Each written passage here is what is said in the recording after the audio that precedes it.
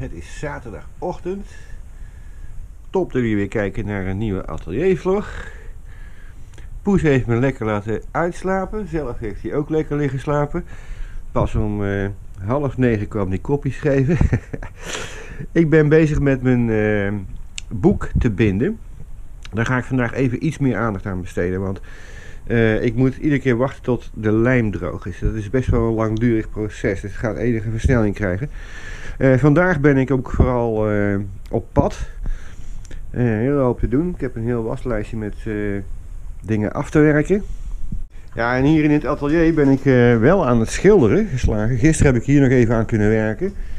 Dat ziet er lekker vlot uit. Daar ga ik ook vandaag mee verder als het even kan. Maar ik heb hier ook nog het een en ander te doen. Want ik ga het boekblok snijden op de ouderwetse middeleeuwse manier. Met dit blok en de snijploeg, de papierploeg zoals dat heet. Dat wordt op de ouderwetse manier gedaan. Ik zou dat kunnen doen met de Krause bordschaar. Maar ja, het is een, uh, een boektest, dus ik ga dat echt op de ouderwetse manier doen. En dat ga ik je zo laten zien. Dat is werken met dit ding.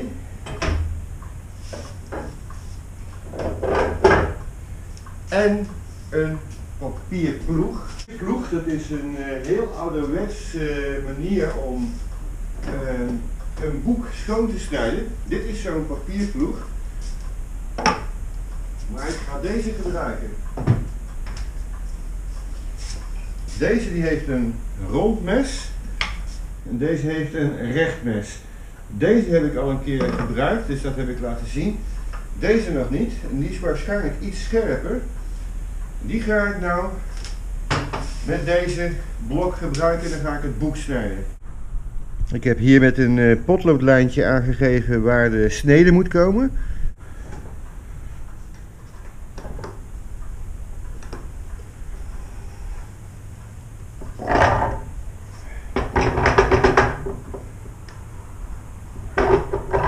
Zo. En dan kan die uh, schoongesneden worden. En dat schoonsnijden met zo'n blok is nog even een dingetje, want hij moet eigenlijk op een soort van tafel liggen. Die heb ik niet, dus ik gebruik even de, de uitgeschoven bordschaar hiervoor. Dan komt de ploeg komt hier zo te liggen. Nou, je ziet wat er gebeurt. Het mes dat gaat straks langs dit boekblok snijden. En zo snij ik dan elke keer een reepje schoon. Dan krijg je dit als resultaat en dat heeft vooral te maken met het uh, zelfgeschepte papier. Dat is vrij grof van structuur. Maar het lukt wel. Zo ook de zijkanten.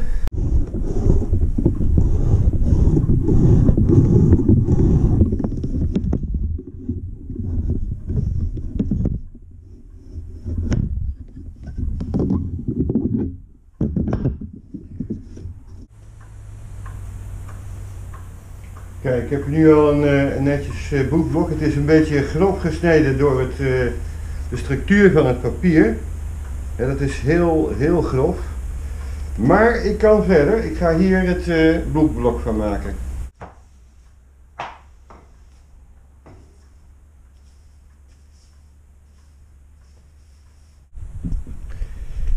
Daar moet ik met een hamertje de ronding erin gaan slaan. En met poes erbij en touwtjes is dat niet echt zo heel erg succesvol, maar ik ga het gewoon proberen.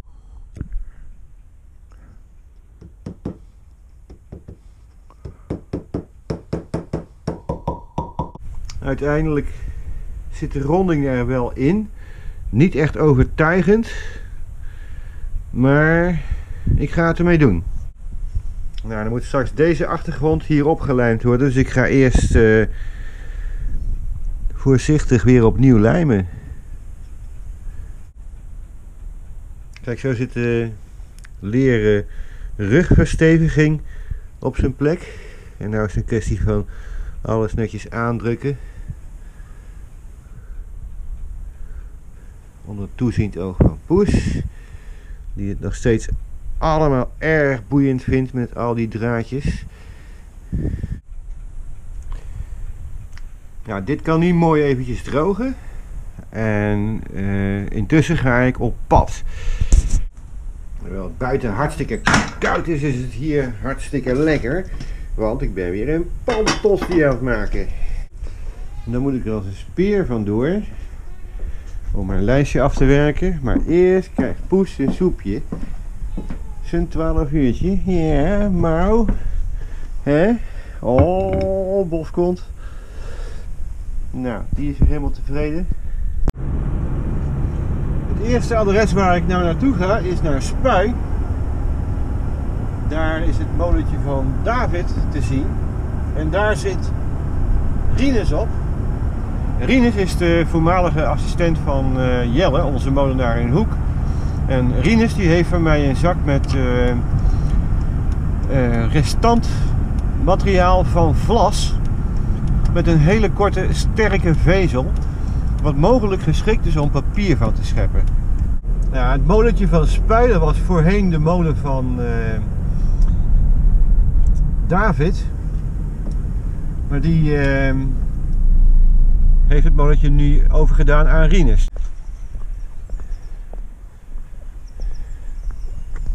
Is het geen beauty?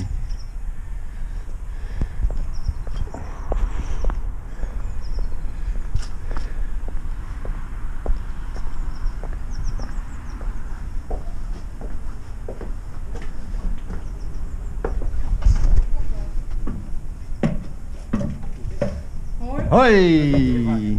Hey, die Rinus. Nou, dit is weer helemaal prachtig, hè? Ja, dat is een heel leuk man. Dit is echt geweldig. Met een machine. Mooi man. Echt geweldig, ja. Een leuk molentje is dit. Gaat hij al zwaar? Ik kon dat op het begin niet eens. Je hoort hem remmen, hè? Ja, je hoort hem nog heel goed. Mooi man, echt. Oh, prachtig. Ja, dit is helemaal leuk, hè? Ik vind het een heel sfeervol molentje. Ja, dan kwam het oudje natuurlijk. Ja. 1805, 1807. Oh ja, Ja, dat is wel heel dat is een hele vroege, ja.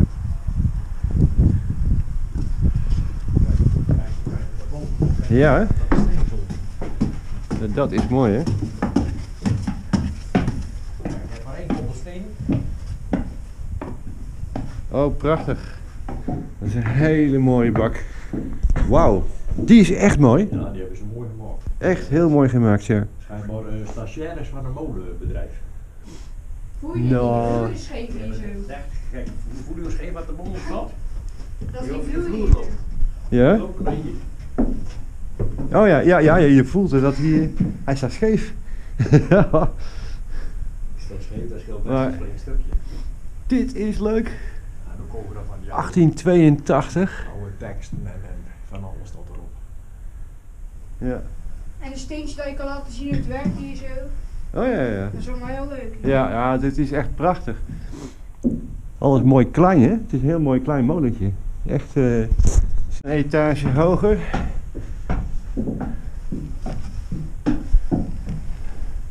Oh, het is echt mooi hier. Ja, het is machtig. Joh, wat een hoop. eh, Je moet een beetje uitkijken voor je hoofd. Oh, wacht even, dit is de kap, ja. Ik zie het al. Ik dacht die nog hoger ging. Dan kan jij er naar boven had, kijk, je erbij zo. Maar ja, hier nog wel, kijk, dit is de bovenas. Ik zal eens komen. Zonder mijn kop te stoten. Ja, dat is, dat is allemaal krap. Ja, Dat is inderdaad aan de krappe kant. heel klein. Je luiwerk zit bij ons op een apart zoldertje. Heel hoek zit al laag, hè. Ja. En hier naar je bovenas. Dat is een houten as, dat heb ik nog nooit gezien. Vroeger was dat al 1889. Ja. En dit is waarschijnlijk het bovenwiel, zei Jelle, van een eh standaardmol. Ja? Dan hebben ze dat allemaal een beetje bij elkaar geraapt.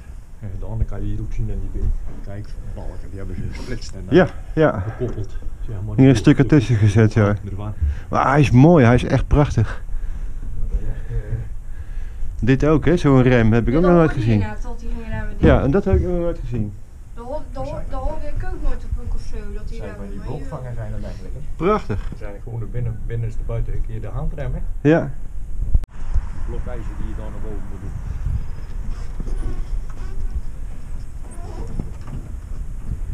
Je hoort het allemaal. Dat, dat vind ik zo mooi. Kijk, daar gaat hij. Ja, prachtig. Helemaal voor elkaar. Hè?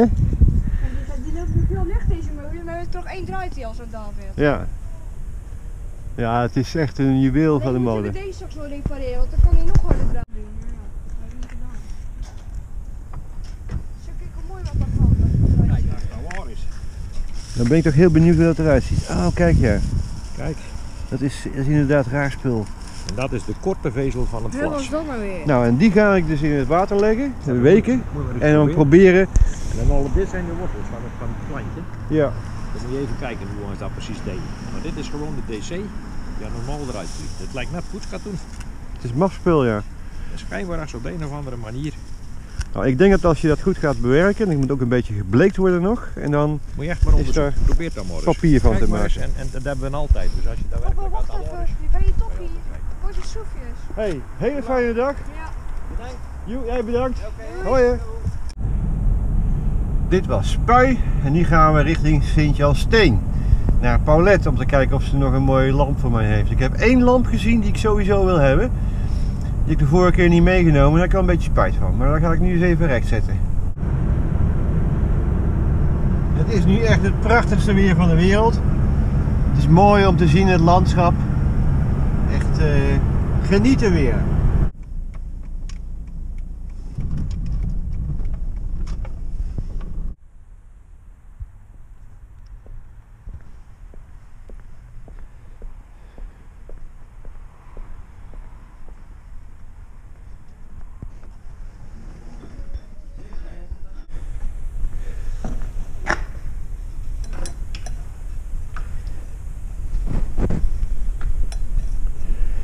Dit is hem dus.